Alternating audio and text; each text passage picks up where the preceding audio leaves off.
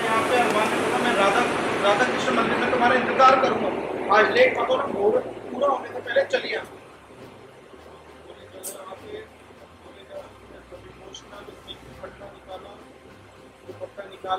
दिया। तो नहीं होगी अपना मानते भी नहीं है। इनके अपने हो अरे फिर भी मैं सबको छोड़ के जाने के लिए तैयार थी मुझको भरोसा करो कि मैं इतना बड़ा फैसला लिया है तो खुद को समझ के लिया हूँ सब पे पेंट पेंट पेंट करते रहो सब देख रहे हैं इधर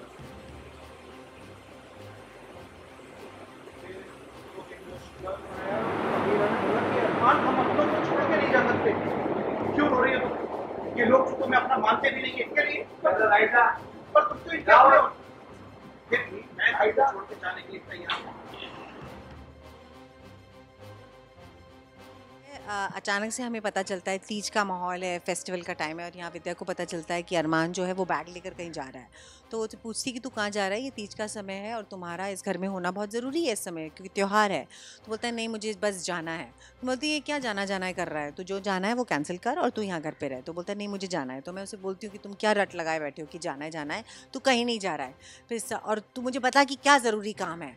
तो फिर वहाँ से मासा बोलती हैं कि, मैं बताती हूँ विद्या कि इसको क्या काम है? ये अबीरा से शादी करने जा रहा है। तो ये एक शौक है हम सब के लिए कि ये डिसीज़न उसने ले लिया है। तो यहाँ पर वो एक स्टैंड लेता है और वो जाने के लिए होता है और वहाँ पर अबीरा उसे मना करती कि, नहीं, तुम घर छोड़ के नहीं जाओगे। क्योंकि अबीरा ने विद्या से वादा किया है कि वो इस परिवार को बिखरने नहीं देगी, अरमान को पुतार ख़ानदान से अलग नहीं होने देगी।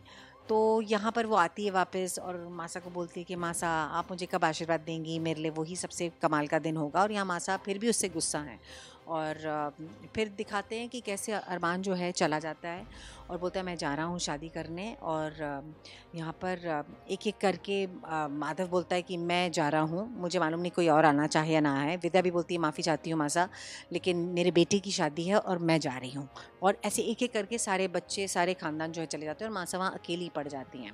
तो ये सीक्वेंस है जो हम शूट कर रहे हैं कल से और इसीलिए थोड़ा सा गर्मी का माहौल है यू नो तो ये अभी चल रहा है तो देखते हैं आगे क्या होता है।